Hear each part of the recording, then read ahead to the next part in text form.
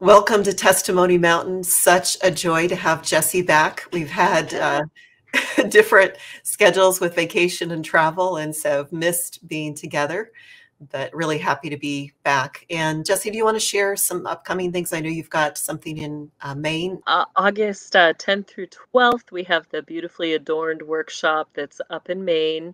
And you can uh, go to my website, kingdomlivingwithjessie.com, to get tickets for that and that's going to be um, we had the first beautifully adorned course at adina's yeah. um, place and that turned out excellent. Uh, so the workshop is just a little different. It's not the full course. Uh, we'll take segments of the course but it's really meant to give people time where we're doing more like a workshop and in a group setting you'll be able to work through some of the different um, tools and techniques that we teach uh, that help people work through their healing process journey. So um, it's got all the same goody good nuggets that are in the course, but uh, the bonus is that you get to be in a group setting and get to work with a group um, as you're working on your healing process. So very dynamic, and I'm really excited for it. So it's fantastic. And we're looking forward to having you come back here to the Austin right. area in October. Yeah, we got to talk about that. yes.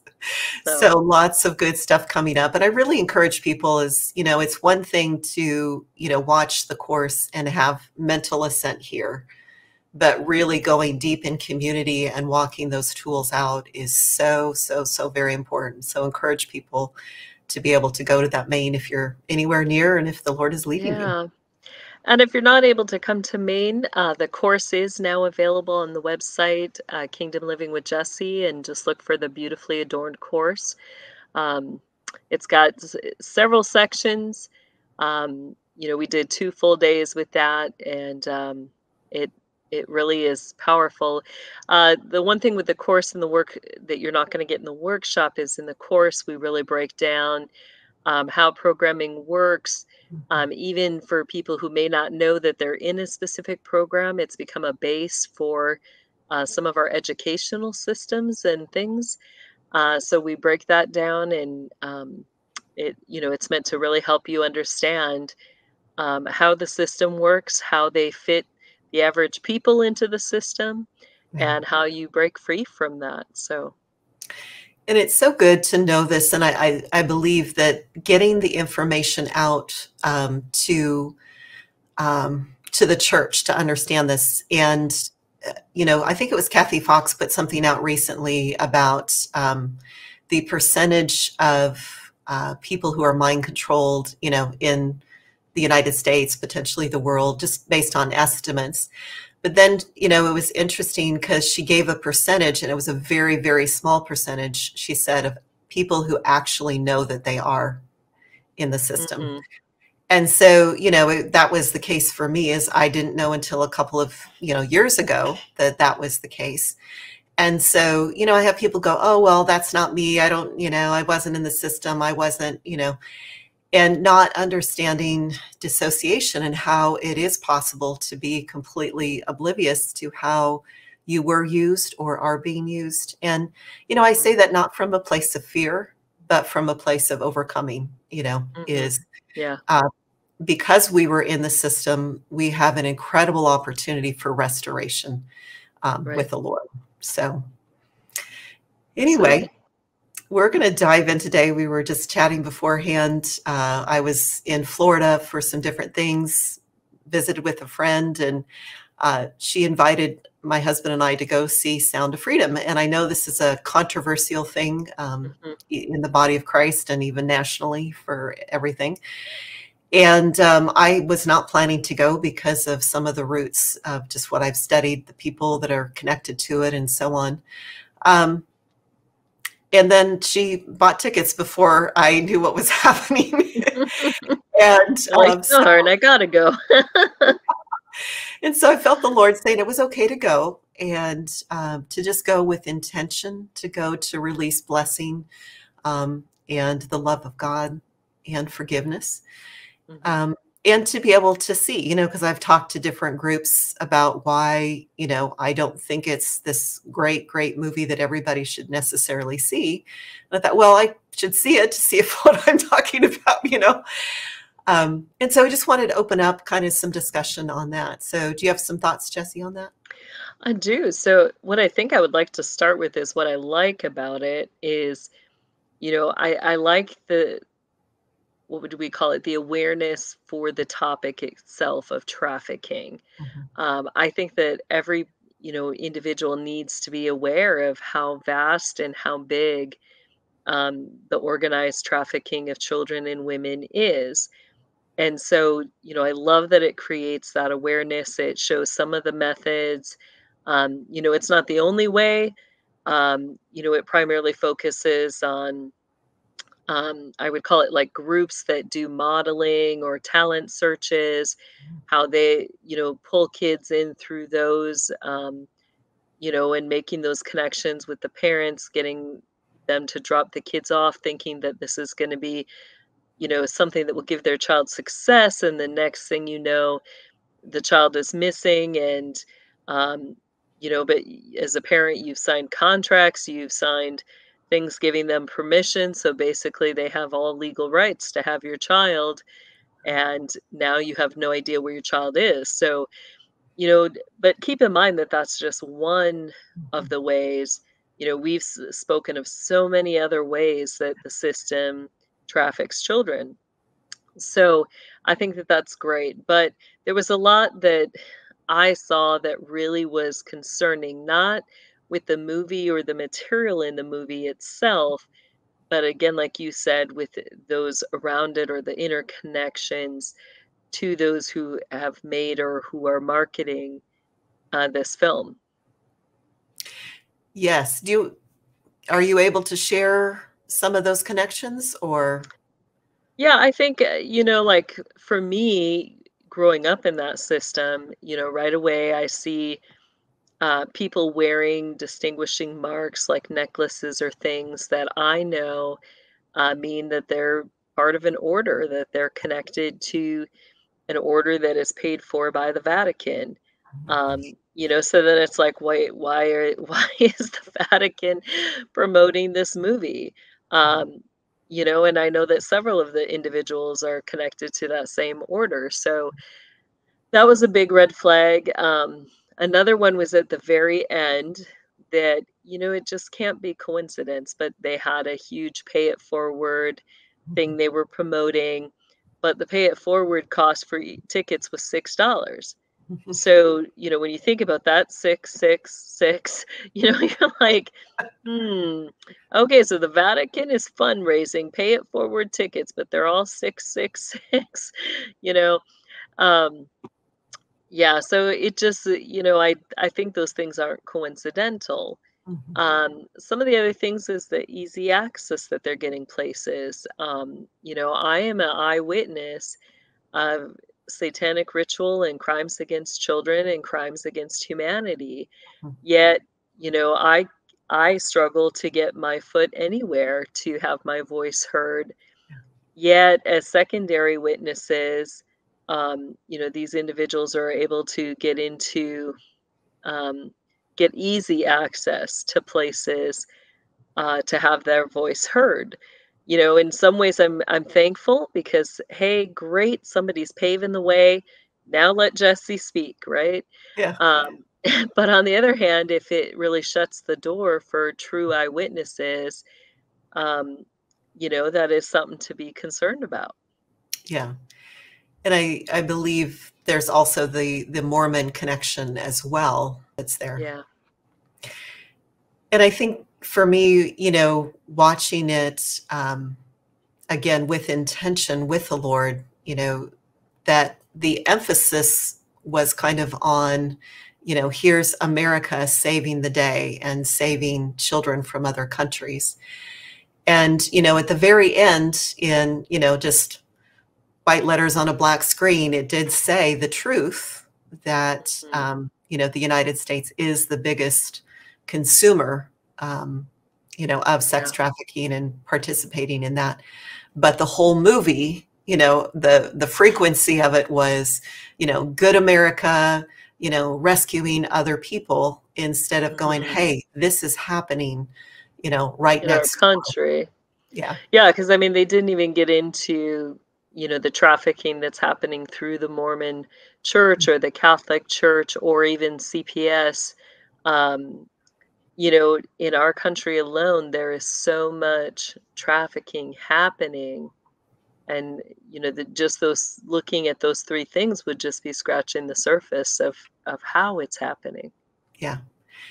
And so it's great that it the topic is being exposed, but also it's not the full picture. It felt like, you know, half truths, hmm um, in some places, even potentially lies, you know, in that um, they had this scene where, um, you know, kids were being snatched off the street. And it, you know, as a parent, it's quite traumatizing as a, you know, grandparent, you know, it's like, oh no, you know, it, it, it stirs up Yeah. this fear when the percentage of kids who are taken that way, um, my understanding is very small in comparison Yeah. to churches, schools, Boy Scout, other grooming, CPS, and breeder programs. So, Right. And then you have, you know, it, it kind of took a look at, you know, we'll say a paramilitary group that, you know, was focused on or former, you know, they became former government employees, you know, who devoted themselves to doing that rescuing and stuff. When, you know, in my experience and many other survivors' experience, you know, the military, the law enforcement, that is a huge bulk of those who are highly involved, especially with child pornography. yeah.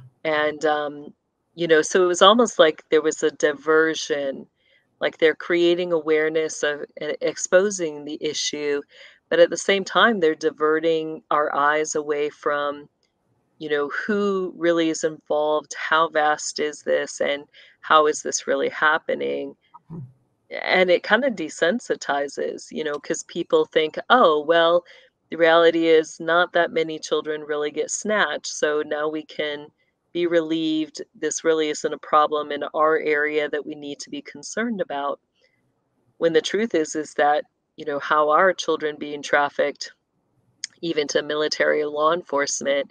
You know, it's happening straight out of our public schools Yeah. where kids are showing, may show up you know why do the majority of the schools say that they're that every child has to be there um, to be marked for attendance you know in the morning Mhm. um, you know they, they'll say it's because of their school funding Mhm. well i would propose that really it's because you know where's that funding really coming from it's coming from special programs and our schools are part of the biggest you know, suppliers of children um, to the military and other groups that are trafficking children. And, you know, it's like you go, you get marked present, and then you go to your special trainings, um, you know, which may be off campus, may not be. Yeah. You know, and it always looks like you're there. You have community people who work within, volunteer within those schools who will vouch the children are there and no matter what the child says um, you know you've got adult witnesses that will give you the narrative of what is really happening Wow. Wow. And kind of going back to that um, ease of access, I've been noticing kind of this same thing where where um, uh, reading books, like if there's I you know, and I honor all survivors and whistleblowers, I really do, for getting out whatever truth they can. Um, but I was reading an excellent one, but they were pointing out all of these other, you know, forms of the system, but they were pro Catholic you know and it was like oh that's why it was so easy to get this book you know. Right. The books of survivors that you can't get they're out of print or that are $500 on amazon or something like that um, you know they're more likely telling the full truth. And so it is interesting you know to look at these things to go okay well you may be telling this part of the story but mm. you're not telling this part of the story or you're promoting something that is another part of the system you know mm-hmm. and whether it's whether they're aware of that or not it's just something to be able to see not to be paranoid about everything you read um, right. because they may or may not be aware you know of what they're doing um, but having grace right yeah and i think that's important because you know within that system there's always that dichotomy of of the good and the evil. And in your trauma you know or we'll say in general in the trauma bonding experience they will always have two those two groups of people in that child's life. You know they'll set up who who are your abusers and who are your safe people mm-hmm. and they mm-hmm. will direct you towards individuals that really you do know as your safe people mm-hmm. and you know your safe people may be a, your abusers too yeah. but because you're taught that they're your safe people and maybe they're not as aggressive or graphic or you know horrific in their abuse so you you automatically associate um, that abuse with love and tenderness and kindness and you're like oh no that person's good to me. And mm-hmm. you know that person loves me even though that person is abusing you too. Yeah. Yeah and i i think most christians don't know don't understand these types of things. I think we were raised like it's either good or it's bad and mm-hmm. not not understanding how the system uses both of those things to to intermingle. Yeah. And, and i think that that might be part of the you know the division that you see you know in the christian community and the survivor community about you know sound of freedom is they're like but it's good but it's good it's drawing attention you know and um i was you know mentioning to you earlier talking to a friend about how um the the fervor of the division seems so much more than mm-hmm. just hey you don't want to see the movie you don't want to see the movie that's okay you know like okay right. i'm going to see batman or i'm not going to see batman you know who cares but this really intensity to it and it got me to to thinking about you know the power of you know it's not more powerful than god of course but how the system will put out those curses and witchcraft types of stuff. And I feel that that is possibly what's going on with the Sound of Freedom with intention to divide, you know, the Christian community. Mm-hmm. You have any thoughts on that? Yeah, I think, I mean, I see the same thing too, where, you know, either way, there seems to be a, a curse with it. Like, you know, if you're it seems like if you're not going, what I've been hearing is a lot of attacks like, oh, well, then you're not really like for. Stopping child trafficking, or, you know, like, why would you not invest your money in stopping child trafficking? Mm-hmm. Yet those who say don't go, you know, they're like, well, you know, things are shoddy and you're supporting those who are trafficking. Yeah. So, either way, it seems like there's a, a curse with it and it really brought me back to there's a passage in the book of Corinthians, I think it's First Corinthians, where we see this same type of division happening in the early church. And Paul addresses that issue. And what was happening was that you had, um, you know, they would get together for dinners and um, feasts. And, and what would happen is that people would bring food uh, that they all would share and partake in. But you had some people that, you know, were kind enough to bring the meat, but the problem was was that the only places you could buy meat were at the meat markets and it would always be offered to idols first before it was sold. So some of the believers were pitching a fit saying, you know, that meat, we can't eat it. It was offered to idols. And you know, then you had those who really had no problem with it. They were like, everything belongs to God. God knows that it was offered to idols, but yet it's, you know, it's redeemed. It's fine. Mm-hmm. You know, it, as long as we pray over it, God's going to bless whatever we put into our body because he knows meat is important to us. So you had this argument, and what does Paul say? You know, he calls those that, you know, were were afraid to eat the meat because they thought they would be judged by God for it. He tells you know those who have no issue with it to be sensitive mm-hmm. to the weaker brother, not to judge them, not to say bad things, you know, not to condemn them for their belief. You know, that's fine. If they don't want to eat the meat, don't make them eat the meat. Don't gloat while you're eating the meat. You know, just quietly sit there and eat your meat without, you know, making it an issue.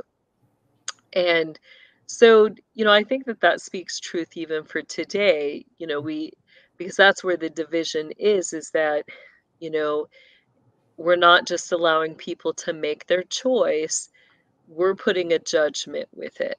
Yeah. You know, we're using it with a judgment to divide and uh, you know it has i've i've heard from some people that they've lost relationships over this movie wow and you know it's like this is not even the tough stuff people like wait till the truth you know wait till the survivors start getting to really speak out like if you want the tough stuff we're not even there yet yeah. so you know these are certainly not issues that should be dividing us yet but i think the reality is is that we need to prepare our hearts that there are going to be mm-hmm. things coming in the near future that will divide. And we're told that the divide is so so extreme, you know, where father will turn against son and son against father. And you know, I'm seeing this kind of this uprising, this violence that is accompanied with this division where people really get violent towards each other about it and about defining that dividing line. So th- those are things we need to be preparing ourselves for uh, because things aren't going to be a nice cakewalk. Um, you know, it's time to put on our big boy pants and yeah. big girl pants and, you know, understand that we are in a war. You know, this is a spiritual war and that phys- that spiritual war is going to manifest physically as well. Yes. And I think, you know, understanding that, you know, the basis of who God is, is love. Mm-hmm. And that love expressed in relationship, and that relationship trumps belief systems. And you can't make someone else believe something um, that they're not ready for. Um, you know, you can influence, you can, you know, gently encourage. But when we try to make that uh, a dividing factor on whether we're going to, you know, be friends with someone or be around someone, you know, it it becomes very uh, not so good, you know. Yeah. Um, you just reminded me there's another great book um, that kind of talks about this issue, but um, I'm forgetting his name. It's something Spear, but it's called Christ at the Round Table. It's from oh, the oh, yes. early 19 40s, I think mm-hmm. 40s, 50s. But he was a missionary in India. And what's neat about that book is he's got some chapters that um, where he he was a friend to Gandhi. Mm-hmm. And he talked about Gandhi's beliefs that Gandhi did not believe in Jesus Christ.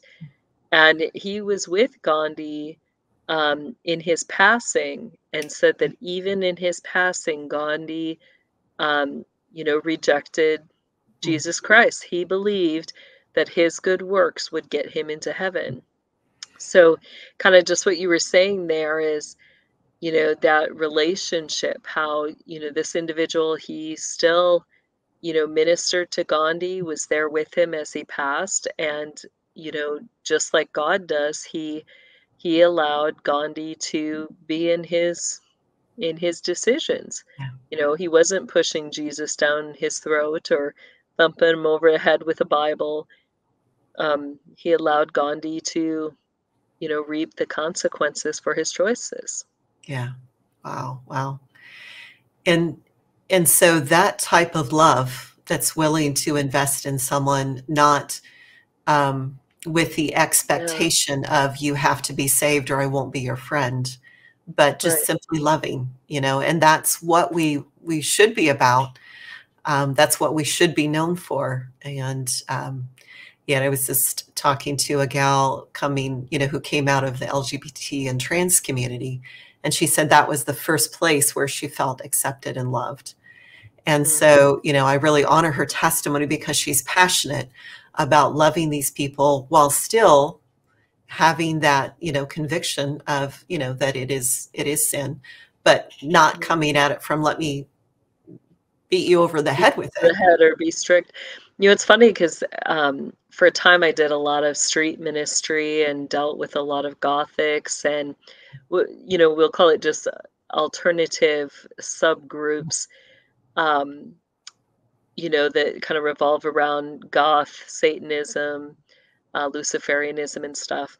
And the biggest thing that all that was a common denominator between the majority of the individuals that were in were sucked into those type of subculture ministry groups um, was that they came from very over dominating strict religious homes where it wasn't about relationship with god or with one another it really was about you know that religious spirit and um, that religious spirit drove people straight into witchcraft, Satanism, goth, vampirism. Um, you know, they wanted nothing to do with religion. Yet, the majority of those people, when you really take the time to sit down and have a, a discussion about God or theological things, some of the most profound, Mhm. in depth complex spiritual conversations that I have ever had. Wow. Um, you know, it would just blow my mind where it's like, wow, like, you know, I mean, they would talk about such, they had such a depth of understanding of really of God, even though, you know, they wouldn't claim to have that personal relationship with Jesus Christ, but Mhm. they understood spiritual truths and a lot of times lived it more than those who claim to have to have that, you know, Yes. the Yes. religious experience. And it's it's it's tough walking it out, um, but I believe you know that that is one of the keys in in this season. What we need most is that love, is that unconditional love being demonstrated, um, even when it's difficult or hard. And I think, you know, really, how is that? I, I think, you know, demonstrated is a great word, but I think there's another word, and that word is experience. And, mm, you know, as I've gone through my chaplain career, what I've realized is people, they don't want to be told. They don't yes, want to hear all the knowledge you have about God mhm, or about love. Like what they want is to experience it. yeah, And, you know, how does that really look? How does it look to love someone in their last moments? You know, they're not wanting to be told, you know, I love you or someone loves you. Like they want to know that they're safe, that that uh, you know they're secure, that somebody is there, that somebody does love them, and it can only come through that experience and showing that. yeah, And you know, oftentimes we throw things like affection and touch and all of that out the you know, eye contact is another mhm, one. I I admit I struggle with that one because, you know, that goes back to some of my abuse as a child. Um, but how important that is really to people to yeah, have. Definitely. And it's interesting to me because we can we can learn the behaviors of connecting and you know what kind of looks like love and yet not be connected um, you know on an emotional level on a deep level um, you know which is what everyone's longing for you can look like a loving person but people close to you you're still emotionally distant and you know that's something i'm walking through you know again because of abuse in the background of you know, avoiding that close intimacy. And so it's Mm, like you can smile, you can be, you know, look like you're caring or loving, but it it often can be just learned behavior and not um, really coming from the heart. I, I think you're absolutely right on that. That you know, in a way, we're trained. You know, that's part of the cover life. We're Mhm. trained to make it look good, fake it till it's believed. Yes. Um, you know, that you really love someone, and you know, to this day, like I still struggle to really receive compliments from people Mhm. or to receive words of affection because I got that all the time as a kid. You know, Mhm. before my abuse, they would be telling me, you know, "Oh, what a good little girl you are," Mhm. you know, and then you're like, "Wait a second, good little girl shouldn't get this," you know, and, um, you know, they would do all sorts of horrible stuff. Usually it would come before, you know, they would use it as a threat, you know, when I had done something that really was good, Mhm. like trying to you know, tell on the abuse that was happening, and then they the virtue squad would throw me into a, you know, closet or or a hole or basement or something, you know. But in that, they would still be telling, you know, they would be using it as a way to mock. Mm. Um, but it's like, you know, how precious are those things when, you know, really it is felt from our heart. And, you know, that's something that I, the Lord took a couple years to deal with me on was behind it is really the thoughts and the intentions of our hearts. Yeah. And in scripture, you know, Genesis 6, he says that he sent the flood to destroy those past generations because every intention of their heart was always evil. Yeah. And when I really started to pay attention to that, you know, not just my own thoughts towards other people, but you know, it's like you realize I don't I don't know what other people are really thinking of me unless I ask. Yeah. You know, and some people I'm glad they don't share their thoughts because they're not good. But others, you know, it's like when people really do give the genuine, you know, comments and when you receive that, you know, that's when you feel that love. You know, I can remember the first time that You know, one of the first very genuine ones I got was actually David Zublick. Mm. Um, we had already worked together for quite some time. I want to say it was like a, over a year and a half, maybe close to two years. And there was nothing else behind it, you know, not like he wasn't trying to like come on to me or, you know, like trying to flatter me in any way. Like he just honestly meant it. And I, it was his body language that went with it. Like where all of a sudden I just came on the Zoom and he sat back in his chair and he was like, My God, Jessie, you are such a beautiful woman, you know? And it was just like that first time where it was like, Wow. Like somebody somebody actually sees me as a beautiful woman. Like the first time you realize a comment like that, Mhm. you know, where somebody sees you as something. And how powerful that is if when we can really learn to give that out, you know, how we see other people Yes. in a way that builds them up and lifts them Mhm. up and encourages them is most of the time, for most of us, you know, we spend our average day just getting clobbered and hit, and the enemy's attacking us with, you know, how unworthy, how unattractive, how undeserving we are. And that's all we get all day long. And, you know, like that comment just made me, you know, like oftentimes I feel like that like warrior that's like stuck in the trench full of mud right? And it's like, what am I but a warrior god, right? and it was like that one comment, like it just had this image of myself, like peeking my head up and was like, damn it, the enemy may have me down in this mud, but doggone it, I'm beautiful. Yes. Oh, so beautiful. And I and I think, you know, at least from my family of origin, it you weren't given compliments because that would make you proud. So right, you'd get the puffy head syndrome. you were so afraid of getting prideful, you know, or making someone else proud, so you didn't say those words of encouragement, you know? And it's it's beautiful today to be able to say to my kids, "I'm really proud of you," and be okay with it, you know? right? Yeah. Oh.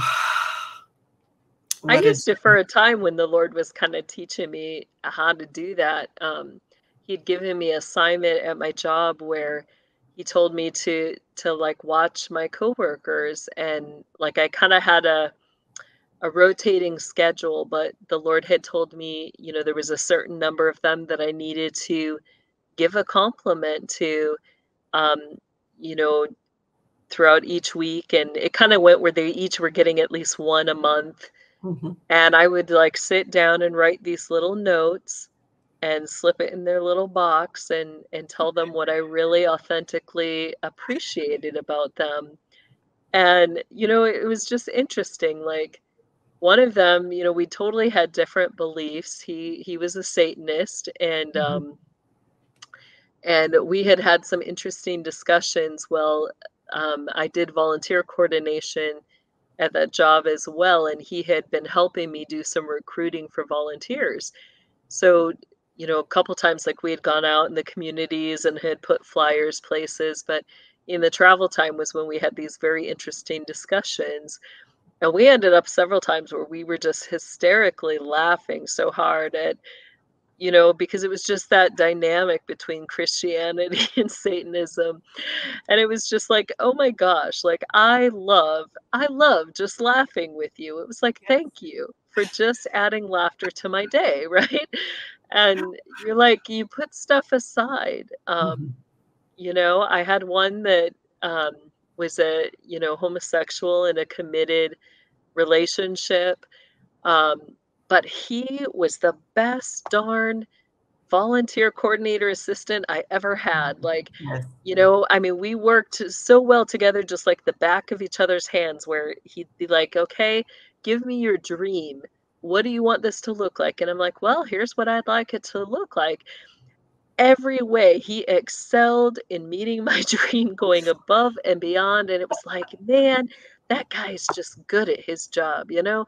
So when we can learn to just love and appreciate people, and it, it doesn't mean that we have to, you know, stifle or compromise our beliefs or say, you know, I mean, we can let them know where we stand in Mhm. things, but it doesn't mean that we have to shove that as a dividing wedge Yes. unless the Lord says, you know, you are not supposed to have contact with this Yeah. person. I have had certain people where the Lord will not even allow me to build that relationship. Like immediately, the Lord closes that door and says, Yeah. No, you are not to even, you know, approach that person. So the Lord does when He doesn't Yeah. want you to be in a relationship, He will close that door, you know, quite strongly. And you can still, you know, release, uh, the love of God, the forgiveness of God, you know, to that Yeah, person from a safe distance, you know, absolutely. Yeah. and the Lord knows what's best. We can trust him. Yeah. I think for a long time, that was the hardest, you know, so many churches um, teach a false understanding of God's God's wrath and judgment. Mhm. Um, you know, and they teach it without the full understanding of of the extent of God's love. Yeah. And you know, it took the Lord Himself to really show me and you know about judgment and how he went through that was you know he started bringing me to all these scripture passages about where he gave out judgments Mhm. and he showed me that with each one that there's always the judgment really is the warning you know if you do this then this is going to be the consequence Mhm. but in that you always have a choice Yeah. Like you've got a warning and you understand what the consequence is if you follow through with that warning. Mhm. But if you turn away and go the other direction, um, you know, so many times those judgments will come with, but if you return to me, if you come back to me. So the Mhm. Lord uses those to call people back to Himself. And when they turn and come back to Him, there's always that grace, that forgiveness, that mercy, that restoration. And Mhm. that's really God's design in His heart, in His love. But at the same time, God is not unjust if if that person chooses you know, no, I'm gonna do this, then the. Lord says, okay, you know what the consequence is. Even to the point of there's going to be that day, you know, for those that choose things where the Lord will turn his face away. Um, you know, but that's that's like the final straw. Mhm. I think a good example of that is Pharaoh, you know, in Egypt out of Exodus where it says the Mhm. Lord, you know, there came that moment where it says the Lord hardened his heart. Mhm. Um, because he he kept refusing you know time and time again after the lord kept giving him that opportunity to to listen and return Yes. you know Yes. Just the incredible love and mercy of the Lord, and that oftentimes those judgments are merciful, you know, sometimes we don't think of it that yeah way, but it is. It's, you know, this is what is best for you. This is, you know, where you can really be who you were meant to be. Um, you know, he's yeah passionate to see us restored, and that's that's the glory. Glory, glory. and he rejoices in it Mhm. um i read this great verse out of the song of songs uh, the other day and it just i mean reading it just took my breath away because you think you know that psalm is or that song is all about you know the marriage relationship Mhm. but really it's about intimacy with God as well. And it was in, I want to say it was chapter three or four of that. And it starts to talk about, it says, you know, it kind of puts the characters into the lines. So you've got the groom king, you've got the, you know, the bride. And then at one point it said the Lord. And and the part with the Lord, it, he said, I, what is this I smell? Um, the f- sweet fragrance of spices. And he says, I see the one coming up the mountain in glory, Mhm. clothed or anointed in glory. But it was the Lord's response that he was like excited, that he was like, you know, here's this one that's anointed to spend time with me. Mhm. And I was just kind of like, huh. But it immediately took me back to the passages of Moses and Jesus when they both ascended on the mountain um, and were covered with that glory of the Lord, that anointing, and w- what sweetness that was to the Lord. And then it was like, you know, Lord, do you do you get that excited when I come into your presence? Like, uh, do you sit there all day and wait? You know, and then you start to think, well, how many times do I go about my day and God's the very last thing? You know, where he might be sitting there in the morning just waiting, waiting, waiting. And then, you know, it's like we put him off all day. And and so it's like, huh, like it really makes you think about your relationship with him. It does, and I I love the other verse from Song of Solomon where it it talk it says, "You move me with one glance of your eye." And I saw that. Yeah, I was on that one yesterday. and to me, it's so encouraging because sometimes in our busy life, you know, we feel like, "Oh, you know, I don't have this extension, you know, this extended time and, you know, all of that." And it's like we move him just by a glance. I And do. I have a great story for that actually. Um, I was at the time I was uh, working with elderly people and was kind of managing households and things like that. And I had one client that, you know, I mean, it was pretty extensive work, and I did like a lot of cleaning and, you know, grocery shopping, everything like that. But I had um, everything on a schedule. But that day, like, I think she had had something where I ended up having to do things that normally would have been later in the week, early, and I had to try to squeeze it all in in one day. So, I mean, I was just like busting my little butt off working, and I finally, like, I think it was quite a while because usually, you know, every five hours or so I would get a break, but I had gone like almost the full day with no break. I finally, you know, just went down to sit in the bathroom to have a few minutes to to rest. And as I kind of like, you know, I just plopped down to sit. And uh, as I did that, um, I was like, huh, boy, Lord, what are you thinking right now? and really it was meant to be a rhetorical question. but the Lord answered me and he said, Boy, the worship is great. And I, you know, forever my mind just went straight to the angels and I was like, wow, I bet it is. I wish I could hear that right now, right? well, like 8 years later, I'm ministering to some woman and I'm telling her the story about how, you know, how attentive God is to us and mm-hmm. how even when we, you know, least expect it, he answers us. And I share the story with her and she goes, well, of course the worship was great. She's like, you were singing, weren't you? And it was like the first time I caught it, like I didn't even realize because even at her house I sang as I as I cleaned and helped out with stuff. And I'm like, I guess I was. And she's like, Well, of course, the Lord loves listening to you when you worship and sing. And I was like, huh. I not did not catch until all those years later that the Lord was speaking wow. about me. I love when he gives those postscripts, you know. right. Um, yeah, and that's, you know, when I when I lead groups, we usually have encounter time at the end where we just engage with God, you know, in the heavenly realms, sometimes in the courts, sometimes in different places. But, you know, in the beginning it was always like, "Oh, they're so excited to see us." And then it was like every single time, you know, there's this excitement, you know, and I'm like, well, it never never gets old, you know. And and for me to to think that um before the foundation of the world, they saw this moment. Yeah. And they planned, you know, this special time that we would have an encounter, you know, with them. And it's it's so just glorious to think, you know, again, it's just that one glance and it's like, oh my goodness, how excited they are. Um, you know, as we shift our attention to them. It's amazing. Yeah.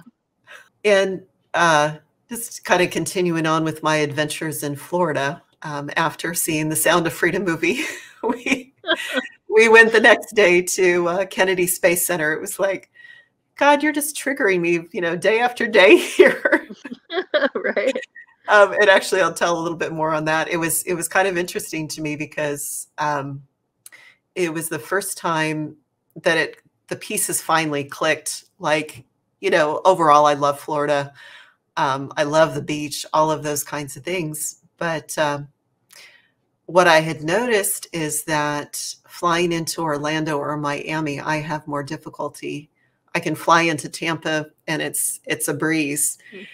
And um, so flying into to Orlando, it was like we crossed like from West Florida into East Florida, and everything inside of me is going, "Get out of here! We don't want to be here. Get us out of here!" You know and then uh, that I do all these triggering things. It was like, oh, my poor, poor inner realm was struggling.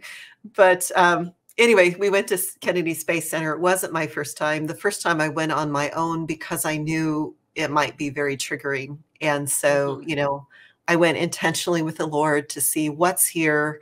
Is this going to jog any memories? You know, that type of thing. And so, um, it was just interesting after listening to you do the gateway experience on um, Aquarius Arising mm-hmm. that um, I didn't notice it the last time, but this time, you know, the main building is called the Gateway and the Gateway Experience.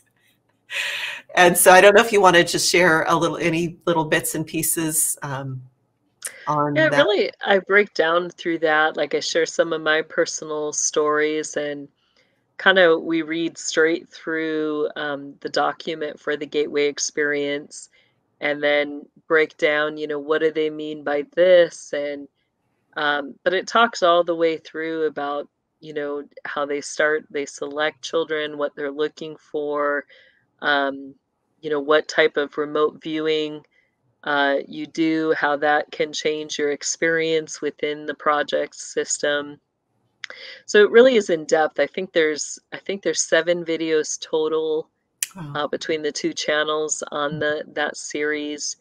Um, but we really do an in-depth breakdown of it and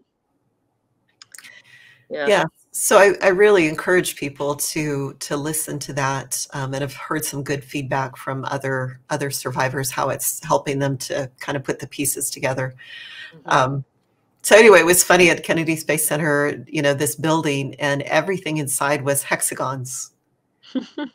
And um, you know, the simulator rides, you're leaving from port, you know, number 13, of course, you know. You're like, it doesn't get any better than this.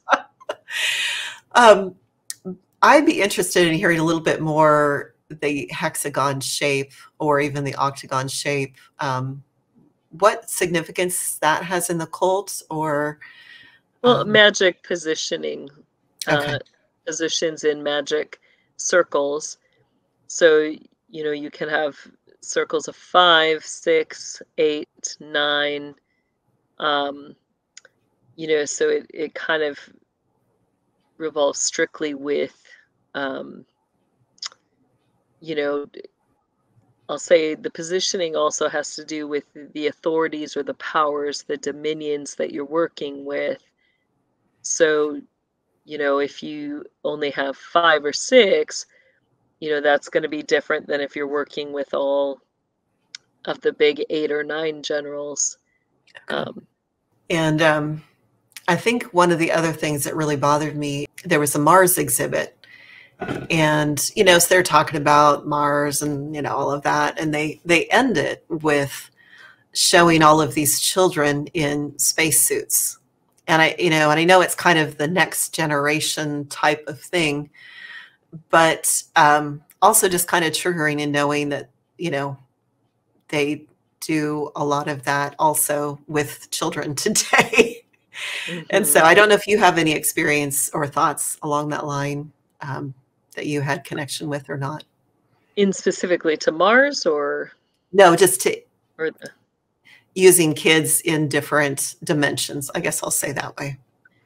yeah, that's a good way to put it. Um, I definitely have experience in that, but um, not using children, but I was one of the children Yeah. used in those dimensions. And yes, I do still believe that is happening today and, you know, have been trying to show how that has been happening. And, you know, what's interesting or at the same time it is really sad is that in scripture, um, you have kind of this underlying concept of um, nakedness being associated with being unashamed. Mhm, You know, when it's in the Lord, it's it's unashamed. mhm, Yet what the system does is they create that uh, concept of, you know, being naked is a shameful thing. mhm. Therefore, you have to be clothed and be clothed with all sorts of stuff. Um, you know, so there's a lot of misinformation in that that is caused through traumas. Mhm. So that was particularly when you were talking, I was sitting there thinking of those children. It was like, huh, you know, it's interesting that the bubble suits, like they sure give a lot of padding, and it definitely keeps you as a child not from having um, touch. So in that, like that's some of even their messed up, like um, you know, we talked about how they kind of like set things up where Mhm. things will seem good, seem safe.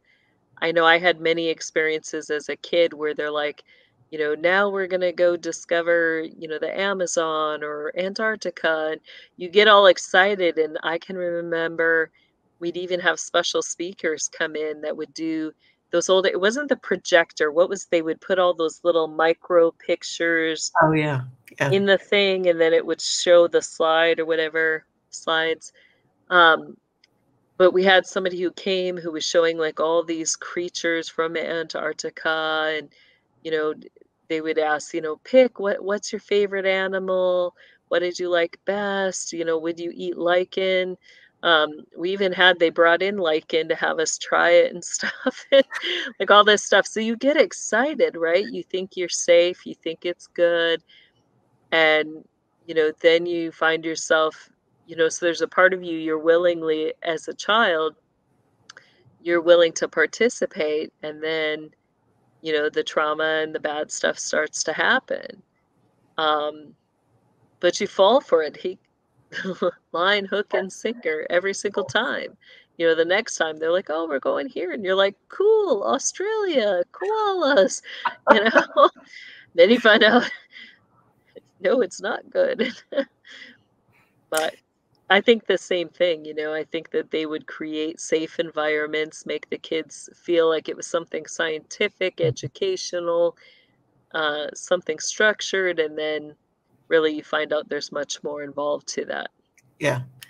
Which I think the whole system, you know, is that way. And so, you know, afterwards, you know, my husband was like, well, you know, what do you think about did they really land on the moon and, you know, things like this? And it's like, well, personally, I don't really know, but I think there's a whole lot more going on than they're showing here. And a lot of this, you know, with the Kennedy Space Center is just, you know, I don't know. Do you have any thoughts or insights on, you know, did they land on the moon at that time or was that smoke and mirror? I I believe it was faked. That's what I'm I lean towards. Yeah. Yeah. I believe it was faked. When you when they were, you know, talking about how, you know, the technology back then was like back in the slide and rule days and, you know, our our our cell phones have more technology, you know, than than those original you know, space things. And I'm like, I. Not really. That's what they want us to believe. Yet look at the wonders of the the earth. You know, I mean, look at the old ancient Aztec, uh, Incan pyramids. Mm-hmm. You know, I mean, these people moved massive stones um, using static and sound. Yeah, that we can't you even. Know? and yet we can't use static and sound to to clean our own homes, right? but it was like, I mean, think of the things, even the, you know, the 14th through the 16th centuries. Mm-hmm. I mean, you look at the cathedrals, these beautiful buildings. I mean, they were making these phenomenal statues out of marble. And mm-hmm. you look at the work and the detail, right? And then today, and this is not picking on artists, I, I'm just trying to show the mm-hmm. point. I mean, today things have become less intricate and detailed. You know, more of just like they slap a few stones together and call it art. Um, you know, and so it's like technology has not increased. Really, what's happening is that the system is withholding mm-hmm. knowledge and wisdom and understanding from us. Um, you know, and they have had that knowledge, wisdom, and understanding the whole time. Yep. Definitely, definitely. Do you have thoughts on AI? I know we're about ready to wrap up, but I do. I mean, I really believe it's interconnected to the spirit world. Mm-hmm. Um, you know, everything that they're doing to set us up is no different than in the ancient days. Um, you know, where we, you know people would interface with black mirrors mm-hmm. um, you know to connect to that spirit world and i think that you know they're just they're trying to give us a narrative with it. They want us to believe that it's run by something you know technical or outside of the system when really i think it's demonic knowledge. Yeah. Well, even um, I just saw a trailer about a movie that's coming out. Maybe it's already out, but about you know a man who, you know, face loses his you know love of his life or whatever, and so he's depressed, and you know this AI comes along, you know, and he begins this romance with AI and how you know it turns out to be better than anything he's ever experienced, and it's like that's pretty sad. That's pretty sad. Yeah, yeah, it is. I don't want to think about what you're really having a relationship with. so that's the scarier thing, yeah. you know. And what happens when that relationship goes bad? Um Yes. So we're we're yeah. in for interesting times. I know that the Lord has solutions. You know, they talk about the AI singularity and it keeps getting closer. I think the last estimate was 2029, which we're, you know, fast approaching. And but uh, I know that God has a solution that's bigger than anything we can think or imagine. Absolutely. And I think, you know, all of us have been working really hard to to, you know, speak forth those solutions that the Lord has. Um, you know, the topics, the things that the church is afraid to even address. Mhm. You know, that's what we put out here on Testimony Mountain. We share the testimonies of the things happening um, on Kingdom Living. You know, Mhm. we talk about how do we rise up? How has the Lord equipped us to deal with the issues and the trials that we face or, or the challenges that we're going through, both on Rise Up and Riding the Storms. And then, you know, on my show, The Reveal Report, um, you know, we really focus on those taboo topics that, you know, that the church doesn't want to talk about. So we do. I mean, we've talked about, you know, um, demons, you know, lustful demons and what happens when you find yourself in a situation where you're getting attacked by a demonic spirit. Yeah. Um, you know, how do you get them out of your home? And we've also talked about some of that stuff on Aquarius Rising. And, you know, I've got a lot of other shows that we're on, but all the, you know, shows that I'm on, we focus on those things, you know, mainly the topic of overcoming. How do Yes. we overcome through the spiritual challenges that manifest in the physical world? Yes. Nothing is impossible with God, and that's the good news. Amen. So we'll Absolutely true. we will wrap it up there today. Thank you again. So good to have you back on, Jessie, and look forward to much more. And so we just bless those of you who are watching. If this was encouraging to you, please share it, like, subscribe, pass it along. We want that good news to get out there. We don't want people to be in fear, wondering, you know, feeling overwhelmed by evil or the enemy. Um, we stand as overcomers together uh, with the Lord and proclaiming his good news. So we will see you next time on Testimony Mountain.